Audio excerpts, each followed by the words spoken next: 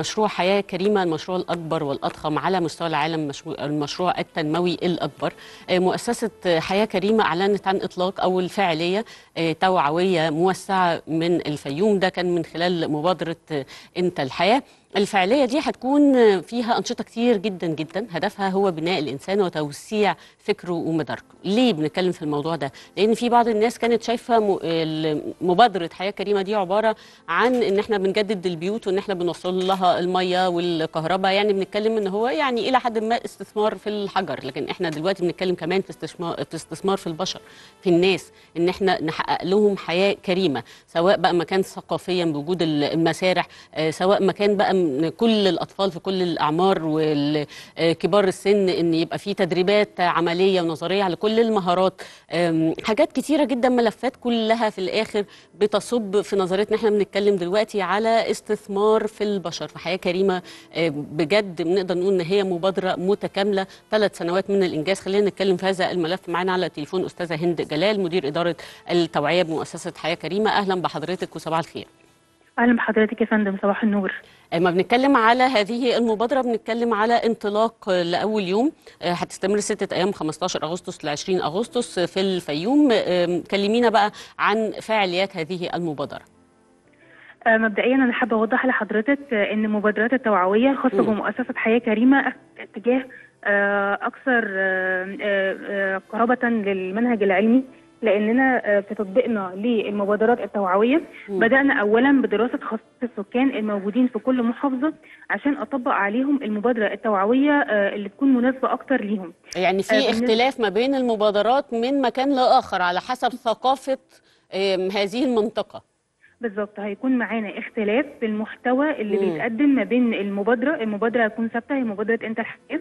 بس هيختلف المحتوى اللي بيقدم. طبقا لدراسة خصائص السكان الموجودين المحافظه والموجودين في المركز بل موجودين في القرية كمان. بندرس خصائص السكان في المحافظة والمركز اللي إحنا داخلين والقرية كمان اللي إحنا هنكون موجودين فيها. مم. آه، بما إن مبادرة حياة كريمة خلاص المرحله الحالية اوشكت على الانتهاء في المشروعات اللي موجودة كبنى تحتية وإنشاءات. آه، إحنا بن- بنستغل كمان البيئة اللي إحنا وفرناها وبقت مناسبة للبنية التحتية إحنا خلاص بنعمل المبادرات التوعوية بنستهدف فيها كل فئات المجتمع بكل الأعمار. بالنسبة لمبادرة إنت الحياة استهدفنا فيها أطفال واستهدفنا المرأة والشباب وكبار السن. آه، طب خلينا ناخدها بالتفصيل. يعني المرأة هتبقى من خلال إيه؟ من خلال مثلا التمكين الاقتصادي الأطفال من خلال مس- المسارح كبار السن من خلال آه، ال- الرعاية الطبية. يعني خلينا كده كل حد فيهم نقول إحنا هنستهدفه من خلال إيه؟ إيه الخدمات اللي هتتقدم له؟ اتفضل. آه، إحنا اتفضلي. معانا أكتر من جهة شريكة. الجهة الشريكة الأولى آه، المجلس القومي للمرأة. المجلس القومي للمرأة بينفذ معانا كتير من الفعاليات والأنشطة ضمن آه، المبادرة بتاعه أنت الحياة. مم. آه، بينها تعريف السيدات بالمشروع القومي لتنمية الأسرة. مم. آه، كمان بنقدم ورش عمل عن الإرشاد الأسري وتنظيم الأسرة وكيفية اختيار الشريك. كمان بنقدم بعض ورش العمل عن التثقيف أثناء الحمل والولادة والتغذية السليمة للأم والطفل. أيوه. وعلامات النمو والتطور الطبيعي للأطفال وإزاي نلاحظها. آه كمان بنعمل توعية بالإعاقات المختلفة والخدمات العامة المقدمة من مكتب شكاوي المرأة بالمجلس عشان نجابه العنف ضد المرأة. عظيم. كمان على الناحية الأخرى بنقدم شق تمكين اقتصادي للمرأة. ده عن طريق ورش عمل حرفية بنقدمها على مدار الست أيام. نستهدف فيها 52 متدربة. تم اختيارهم من قرية قلهانة بمحافظة الفيوم الواقع فيها التدريب.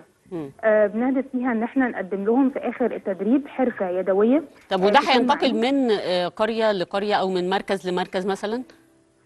هينتقل تباعا بإذن الله عشان نغطي كل مراكز حياة كريمة. مم.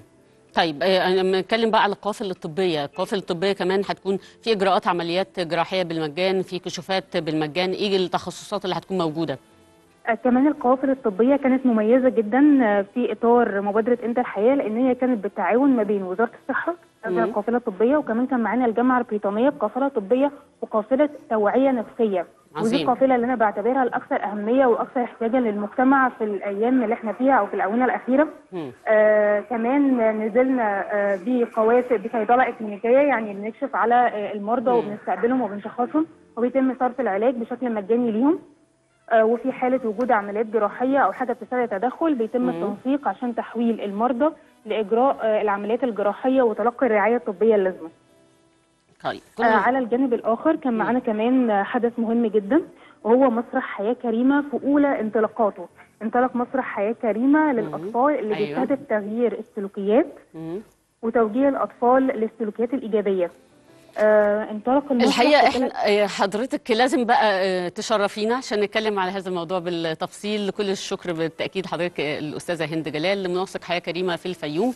آه، مرة تانية بنأكد إن هذه المبادرة أنت الحياة دي بنستهدف فيها إن الاستثمار يكون كمان في البشر دي المرحله الثانية من حياة كريمة ومرحلة زي ما بيقولوا كده جني الثمار.